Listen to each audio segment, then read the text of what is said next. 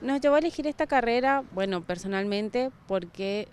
siempre tuve un interés hacia el cuidado del medio ambiente, tengo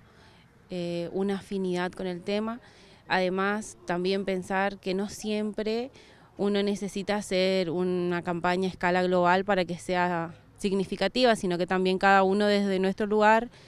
podemos contribuir al cuidado del planeta. Desde chica siempre me gustó eh, lo que era la naturaleza, eh, los animales. Más adelante cuando fui avanzando en, mi, en mis estudios me, fui dando cuenta de,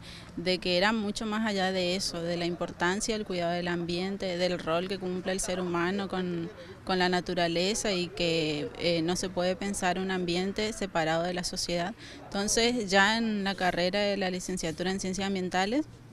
nos permitió tener una mirada más holística y eh, poner en valor el cuidado del ambiente,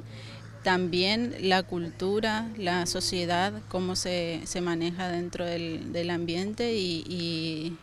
y, las diferentes eh, aprovechamientos sostenibles que debemos tener y que, y que nos lleva a poder tener un mejor cuidado del ambiente. ¿Qué aporta esta carrera en, un planeta urgido de ser cuidado y rescatado? Y bueno, más que nada ayudar desde nuestro, desde nuestra, nuestro lugar a fomentar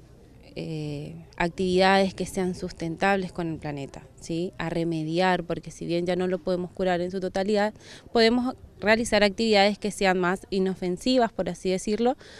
con el mundo, ya que eh, no está de más recordar que este año el lema de la ONU fue una sola tierra, eh, recordando aquella primera conferencia de Estocolmo en 1972, que también llevaba el mismo lema, y nos da a pensar y nos lleva a reflexionar sobre que tenemos un solo planeta, un solo lugar donde vivir y debemos cuidarlo.